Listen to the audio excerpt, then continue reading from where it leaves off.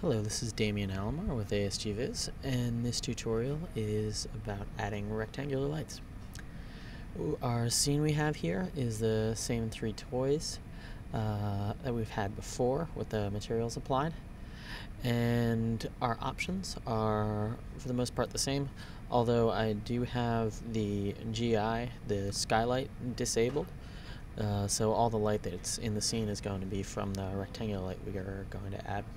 I also have uh, show calculation phase disabled on the irradiance map so we can see the differences from render to render. Okay, first step here is I'm going to add uh, the rectangular light. So I'm going to go to create spotlight and create rectangular light. So I'm going to go here and make a one by one rectangular light and then drag that vertically up there. So now if I go to perspective and I'm going to render. So here's the image that's uh, that results and you can see that we've uh, got our light coming through and we also have uh, some blurry shadows as well.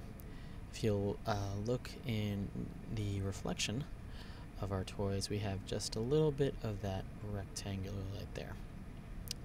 So this is our, our base render, and we're going to go over here to our light properties, and all you need to do is have the light selected, open up the properties window, and then select light.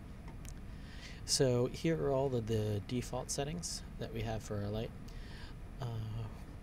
The one that we're going to look at right now is one here called no decay.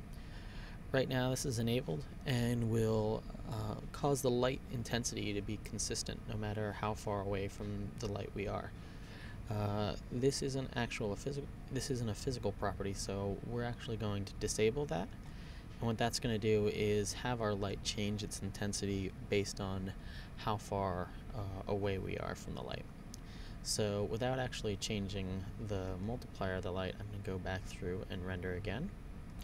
And so here we can see that the intensity of our light is uh, significantly decreased just by having uh, no decay turned off.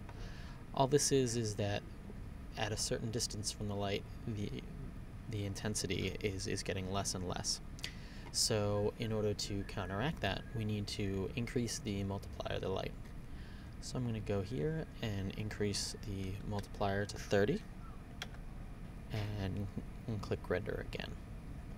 So now we'll notice that our intensity is much brighter, uh, which is good.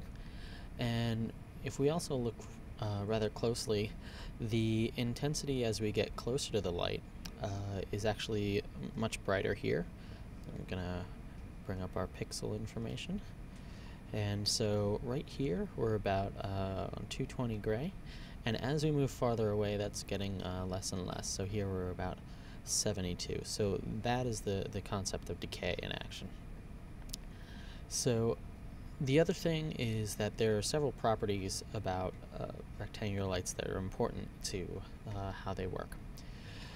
So I'm going to actually come here and I'm actually going to increase the size of the rectangular light and we'll see actually what that changes within our render.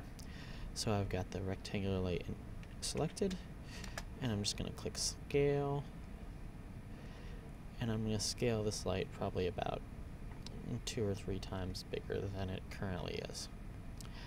Again, and go ahead and render. And so there are several things we'll notice. First of all, our scene is uh, much brighter, but if we also look at the shadows, our shadows are significantly softer now that we have the uh, larger rectangular light. So we can control um, the sharpness of our shadows and also understand that we need to adjust the intensity of our light based on the size of the light that we're making it. So close my frame buffer. Undo my last action to get the light back to its original size. And then I'm going to scale it down so that we can, again, see the results um, in the opposite opposite situation.